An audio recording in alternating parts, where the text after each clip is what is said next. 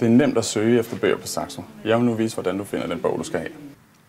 Fra forsiden har du mulighed for at navigere dig ind i forskellige bogformater og forskellige kategorier. På topmenuen kan du vælge bøger, e-bøger, lydbøger og gavekort. I søgefeltet kan du søge på titel, forfatter og ISBN-nummeret. Du kan også søge på emneord. En søgning på ordet Sverige giver blandt andet et overblik over svenske krimier.